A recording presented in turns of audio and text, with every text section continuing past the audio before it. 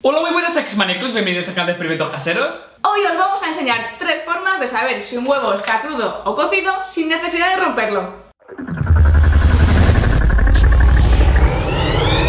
Si alguna vez has hecho huevos cocidos y por algún casual se te han mezclado en la nevera con los huevos crudos y ya no sabes distinguir cuál es cuál, hay un sencillo truco para hacerlo. Todo el mundo sabe que de nada sirve agitarlos al lado del oído porque realmente no se oye nada y por el peso tampoco porque pesa más o menos igual. Y lógicamente tampoco te vas a poner a romperlos porque tienes un 50% de posibilidades de que sea el cocido o de que sea el crudo. Pero el truco es el siguiente. Si nosotros los hacemos girar, el que esté cocido dará muchas vueltas.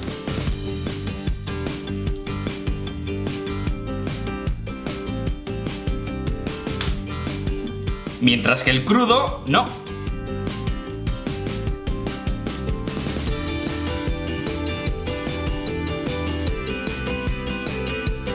Y si aún no nos ha quedado claro, hay otro truquillo para asegurarnos. Si nosotros hacemos girar el huevo cocido y le ponemos un dedo encima, el movimiento parará. Pero sin embargo, si hacemos girar el huevo crudo, cuando le pongamos el dedo y lo quitemos, este seguirá girando. Y la última forma de averiguarlo es hacerlo girar como una peonza. Cuando nosotros hagamos girar el cocido, este se quedará de pie.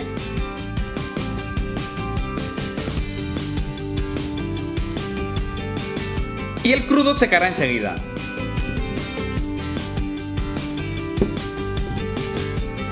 Ahora vamos a poner los trucos en práctica para comprobar si hemos acertado o no. Como vemos, este sigue girando por lo que debería de ser el crudo y este para el giro, por lo que debería ser el cocido.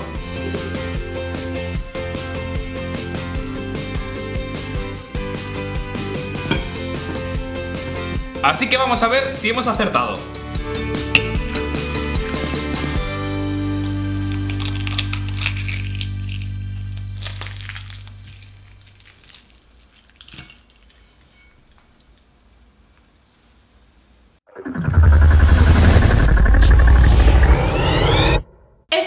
En realidad tienen su explicación científica. ¿Qué es la siguiente? ¿Por qué giraba más rápido el cocido que el crudo? Pues el cocido, al estar totalmente sólido, funciona como una unidad y cuando nosotros los hacemos girar, estos seguirán con el movimiento. Pero sin embargo, cuando hacemos girar uno que está crudo, el interior del huevo frenará la cáscara, por lo que hará que casi no gire. Y entonces, ¿por qué si ponemos un dedo encima del huevo cocido se para al instante, mientras que si lo hacemos encima del huevo crudo el movimiento sigue un poquito más? Pues básicamente esto ocurre porque el interior del huevo crudo sigue girando cuando nosotros paramos la cáscara, por lo cual, cuando nosotros levantemos el dedo, el movimiento que está dentro del huevo hará girar otra vez la cáscara por lo que continuará su movimiento. Sin embargo, el huevo cocido como actúa como una unidad, este se para en seco. Y el tercer truco es básicamente la misma explicación que el primero. Bueno y esperamos que os haya gustado y que hagáis estos trucos cuando estéis indecisos entre si un huevo es cocido o está crudo. Y también lo podéis utilizar para hacer apuestas con vuestros amigos, porque vosotros sabéis la solución. Pero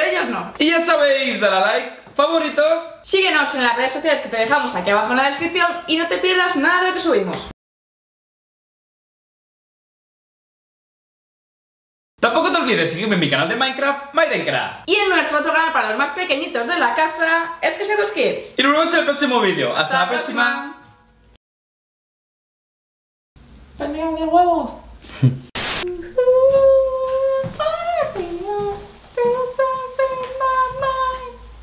están haciendo Eurovisión? No. Canal de Minecraft, Minecraft.